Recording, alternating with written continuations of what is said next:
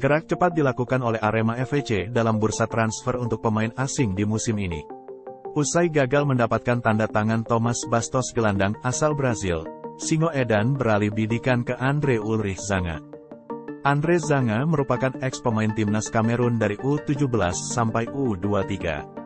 Bahkan, dia sempat membela La Galaxy pada musim 2016 per 2017 saat usianya masih 19 tahun. Manajemen Arema diinformasikan sudah deal dengan mantan pemain timnas Kamerun untuk melengkapi slot pemain asing di Liga 1 musim depan. Pemain berposisi gelandang bertahan itu segera terbang ke Indonesia. Pemain berusia 26 tahun ini terakhir bermain di klub Liga Kamerun, AR Menoa musim lalu. Manajer Arema, Bibi mengatakan, eks pemain timnas Kamerun incaran Arema itu terbang ke Indonesia pada tanggal 12 Juni tahun 2023. Menurutnya, Kini si pemain masih menyelesaikan administrasi untuk keberangkatannya ke tanah air.